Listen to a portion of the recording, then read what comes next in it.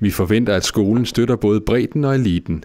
Noget nyt er, at skolen også skal udvikle innovation. Vi har fulgt Rikke Magnussen, som udvikler spilbaseret innovationsundervisning, for at høre, hvem der kan vinde ved de nye undervisningsformer. Det vi hører alle steder, det er, at vi skal uddanne de her innovative genier, der, der er omstillingsparate, som kan konkurrere med, med meget større lande, med meget billigere arbejdskraft. Og vi har mange udfordringer, der skal mødes i fremtiden. Det er en af grundene til, at at vi laver de her forsøg nu og se, om vi kan trække nogle af de her innovationsprocesser og åbne idéprocesser ind i skolerne. Det er dels det at samarbejde om at udvikle teknologier, men også at, øh, at lave sine egne redskaber til de her processer. Hvordan, øh, hvordan håndterer vi de her meget komplekse vidensprocesser? Hvordan lærer vi undervejs? Skal du tegne, hvordan den skal bruges?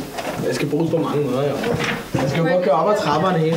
Fordi jeg fik husket på hjemme, at ikke tegne trapperne, men det kunne jeg ikke.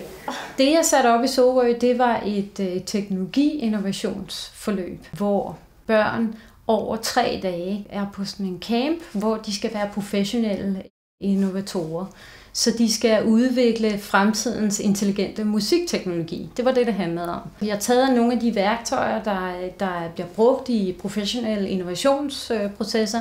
Det er både øh, helt håndterbare værktøjer som whiteboards og tus og idégenereringsredskaber, men også øh, procesværktøjer. Hvornår gør man hvad på hvilke tidspunkter i processen? Hvad var det, I fandt ud af der? Ja, det var slet ikke det her faktisk. Det var et helt andet emne, vi kom ind på. Sådan som det er struktureret er, at vi først havde en brugerundersøgelse, hvor de skulle finde ud af, hvordan bruger unge øh, musikteknologi. Så det skulle de først identificere, og derefter skulle de lave en brainstorm, hvor de skulle øh, komme med idéer til, hvordan kan vi øh, øh, udvikle teknologier, der udfylder nogle af de huller, der er i, i, i vores sprog. Derefter skulle de så bygge prototyper og øh, præsentere de her prototyper for et, et dommerpanel. Vi har skabt, vi har skabt det næste århundredes øh, musikinstrument. Nej, ikke instrument. Teknologi. Det, det, det, det, det, det, i hvert fald for de næste 10, så er det i hvert fald den nye intelligente musikteknologi. Ja, vil I ikke prøve at fortælle mig lidt om den? Det den kan, eller det den ligesom er grunden til, det er, at det er simpelthen højtaler alt det her, der sidder herude. Den kører helt hen til trappen først. Så hæver den kroppen fra sin hjul, eller ikke fra sin hjul, den stadig kommet til. Så trækker den de to forreste op, og kører helt hen til. Sådan at vægten ligesom bliver lagt på den næste trin, ikke? Den her dag, der var den her gruppe, der havde de en meget svær proces. Der var de ret flade, fordi de havde været i en brainstorm-fase, hvor de ikke helt, øh, de ikke helt kunne øh, finde på nogle idéer. De havde fået kritik på, at de skulle tænke ud over formater. Og så øh, kom den her øh, situation, hvor den her dreng, han øh, går op til tavlen, han har fået en idé til en øh, interaktiv, hvad der senere bliver en, en intelligent musikrobot, der kan følge rundt i huset efter dig. Og det, lige her, der har han så fået den her idé, og er i gang med at øh, tegne den for, øh, for resten af gruppen, der så siger, prøv nu at tegne den, og så tegner han den, og hvordan skal den så fungere? Så tegner han noget mere, og han viser med hele kroppen, hvordan den skal, hvordan den skal bevæge sig, eller hvordan han bevæger sig, når den kommer kørende efter ham og spiller musik. Kai danser, eller også er det ham, der danser, når, når Kai følger efter ham rundt i huset.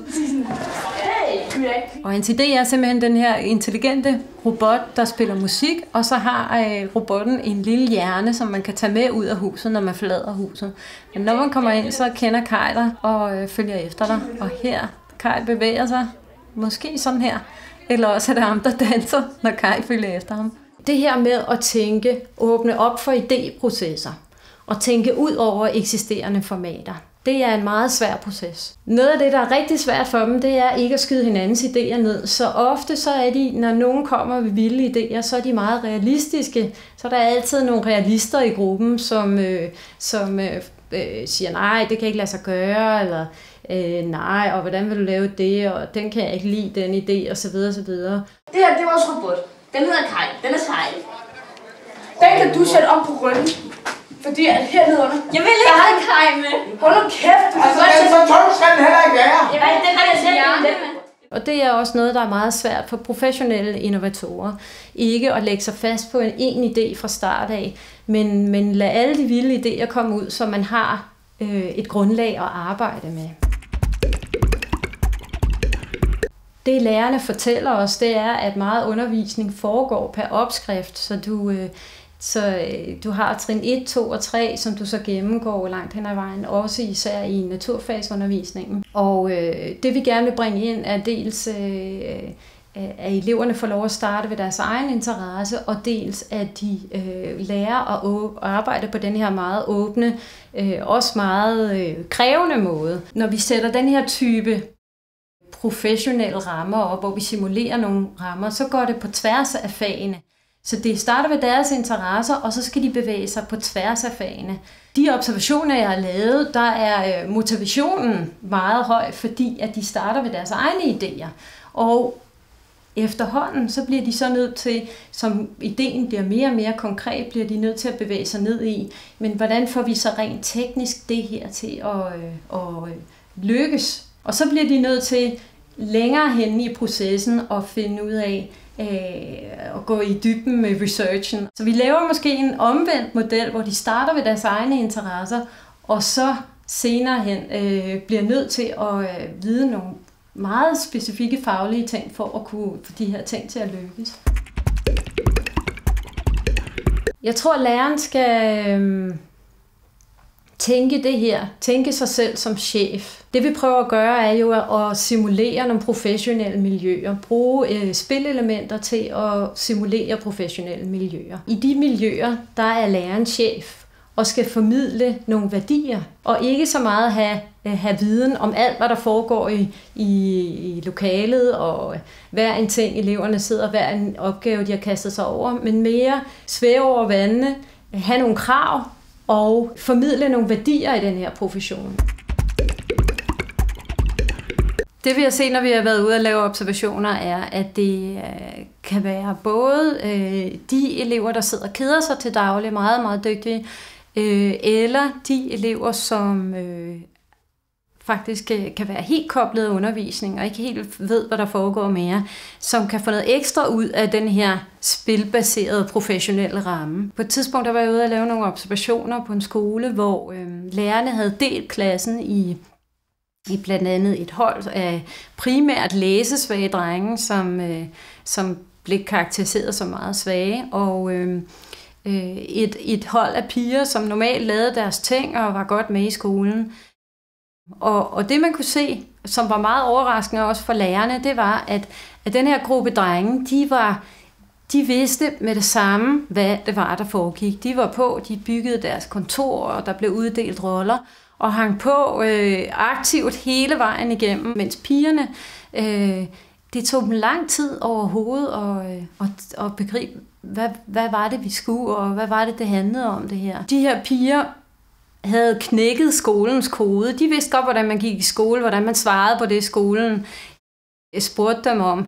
Men øh, når den her meget anderledes sammenhæng kom ind, så, øh, så øh, kunne de simpelthen ikke helt øh, forholde sig til, hvad drejede det der så om. Nu taler man meget om de, øh, om de svage drenge, og drengene er ikke med i skolen osv. Så, videre.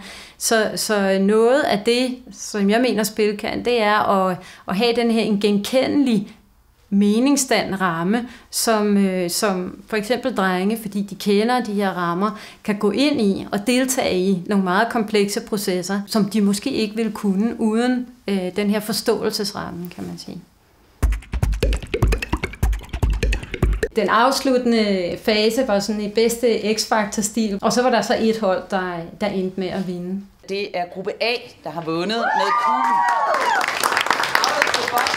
I disse tider, der, der defineres elite som, som dem, der er dygtige i skolen. Men jeg tror, hvis man for alvor skal ud og have en innovativ elite, så skal man også have dem, der kan tænke på tværs af sammenhængen. Så der kommer nogle andre børn eller nogle andre unge op, som end dem, der måske plejer at, at, at vise sig frem i klassen og få sagt noget og få, øh, at være med.